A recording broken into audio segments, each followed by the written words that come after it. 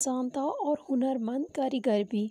वो दीवारें, कश्तियाँ और घर पेंट करता और अपना काम पूरी ईमानदारी और वफादारी से करता। अहमद, मुझे अपना जंगला पेंट करवाना है और ये काम जल्दी होना चाहिए, वरना इसमें जंग लग जाएगा। ठीक है, मैं अभी शुरू कर देता हूँ, पर एक मसला है, मैं तुम्हें दो तांबे की मोहरों के सिवा ज़्यादा नहीं दे सकती। मुझे इल्म है, ये कम है, पर मेरे पास तो बस इतना ही है। अगर जंगले में जंग लग जाता है तो मुझे इसके लिए ज़्यादा पैसा देने पड़ेंगे। मैं आपकी परेशानी समझता हूँ, मोहतरमा, पर पेंट करना मेरा फ़र्ज़ है। काम से कभी इनकार नहीं करना चाहिए। अहमद एक मुफलस इंसान था। कई रातें ऐसी गुजरती जब वो भूखा सो जाता था, पर चाहे जो भी हो जाए, वो कभी अपने ग्राहकों से ज़्यादा नहीं माँगता था। वो सारा दिन कड़ी मुशक्क़त करता और इसी में ही मुतमिन रहता जो उसे मिल जाता। एक रोज़ एक बहुत ही दौलतमंद ताजर वहाँ आया। उसने और उसके घर वालों ने कुछ दिन गाँव में रहने का मंसूबा बनाया।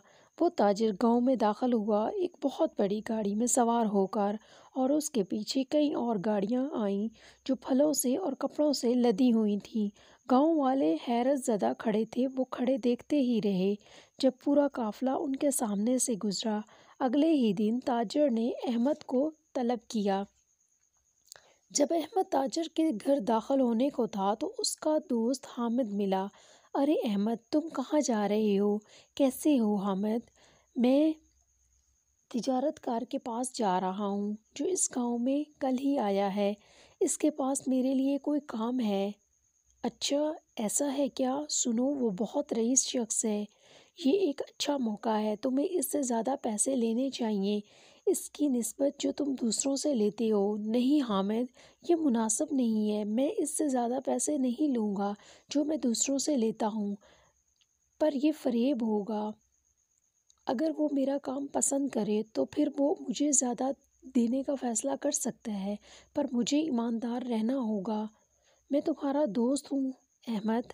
तुम्हारी ईमानदारी की इज़्ज़त करता हूँ। तुम्हारे भले के लिए बोल रहा था, अहमद, मैं जानता हूँ तुम्हें मेरी फ़िक्र है, पर हामिद मेरा अच्छा गुजारा चल रहा है। शुक्रिया तुमने मेरे बारे में सोचा। अच्छा अब मैं चलता हूँ, फिर मिलेंगे। जब अहमद ताजर के घर के अंदर पहुँचा तो वो सकते में रह गया। वो किसी महल से कम नहीं था। ओ, आदाब! तुम ज़रूर अहमद हो, वो पेंटर। हाँ मैं वही हूँ। आपके पास मेरे लिए कुछ काम था। हूँ हाँ मेरी कश्ती का रखवाला बाहर गया हुआ है। वो कल तक वापस आएगा, पर मुझे जल्दी ही कश्ती को पेंट करवाने की ज़रूरत है। क्या आज रात भर तुम उसे पेंट कर सकोगे? हाँ मैं कर सकता हूँ। कश्ती कहाँ है? मैं अभी से अपना काम शुरू कर देता हूँ।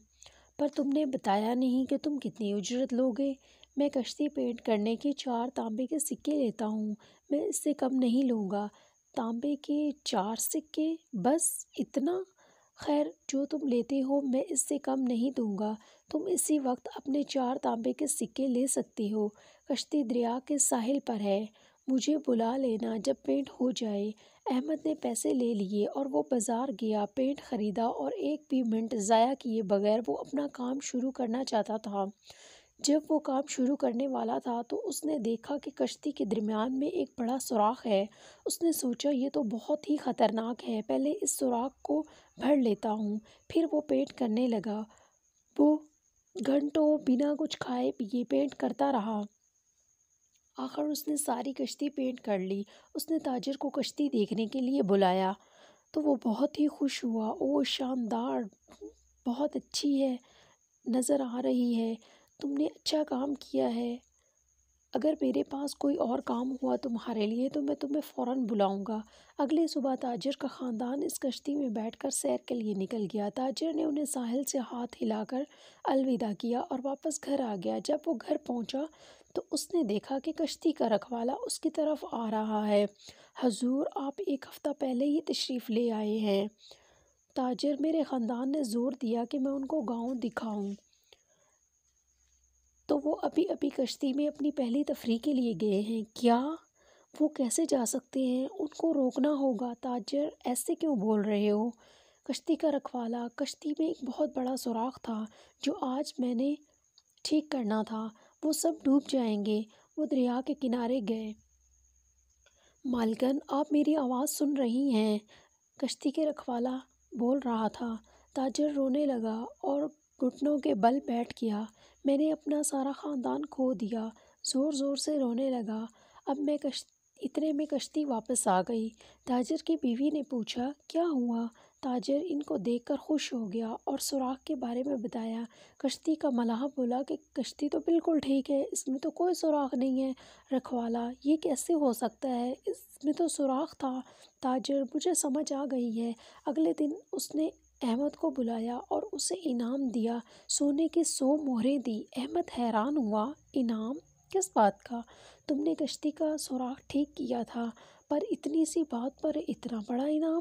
ताजर, ये इतनी सी बात नहीं है। मेरा ख़ानदान तुम्हारी वजह से ज़िंदा बच गया है। अहमद बहुत खुश हुआ। इतनी मोहरें पाकर वो छोटे मोटे काम करता रहता था, पर अब वो बहुत अमीर हो गया था और अब वो कभी भी भूखा नहीं सोया।